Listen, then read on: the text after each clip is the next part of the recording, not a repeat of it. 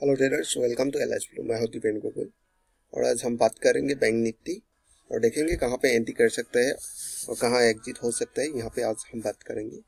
तो देख सकते हैं ये बैंक निफ्टी का वन आवर चार्ट लिया मैंने। तो वन आवर चार्ट में आप देख सकते हैं बैंक निफ्टी एक ट्राइंगल शेप फॉर्म कर रहा है यहाँ पे। तो आप देख सकते हैं बैंक निफ्टी एक ट्राइंगल शेप में चल रहा है। और ट्राइंगल शेप का अंदर में एक होता है। आप देख सकते हैं एक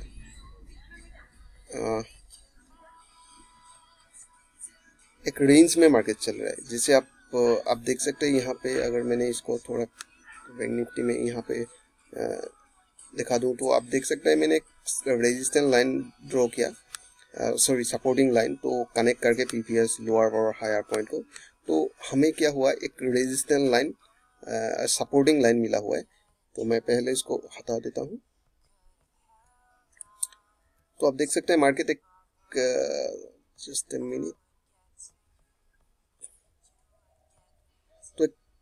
रेंज में अभी चल रहा है तो यहाँ पे देख सकते हैं। तो ये एक रेंज हुआ। तो एक रेंज में मुझे लगता है ये रेंज में ही मार्केट थोड़ा बहुत घूमना है। क्योंकि एक हमें एक रेंज मिला तो इस रेंज का अंदर में हमें और एक रेंज मिला है, जो हम इसको ट्राइंगल रेंज बोल सकते हैं ट्राइंगल शेप में। तो अब देख सकते हैं ये लो हायर पॉइंट था पहले राइट तो नेक्स्ट ये लोअर पॉइंट एक मिला हुआ है हमें। राइट तो मार्केट मुझे लगता है ये रेंज में थोड़ा आ, रुकना चाहिए। अगर इसको ब्रेक किया तो जैसे मैंने इसको रेंज डाल दिया अभी हम 15 मिनट में देखेंगे। थोड़ा मैं छोटा कर देता हूँ उसको हाँ।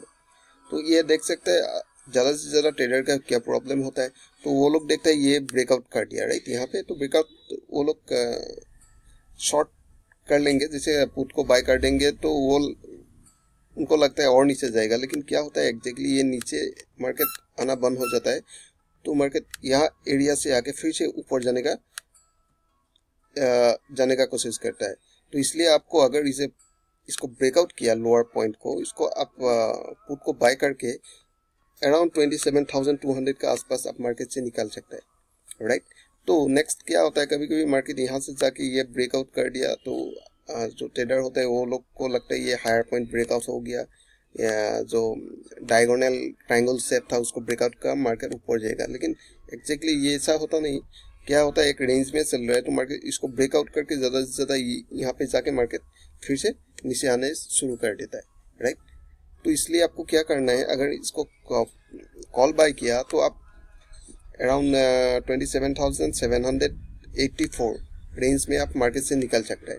और पुट को बाई किया तो आप क्या कर सकते हैं, ये twenty seven thousand two hundred eleven में आप मार्केट मार्केट से बाहर आ सकते हैं, क्योंकि यहाँ से फिर से मार्केट ऊपर जाने का चांसेस है।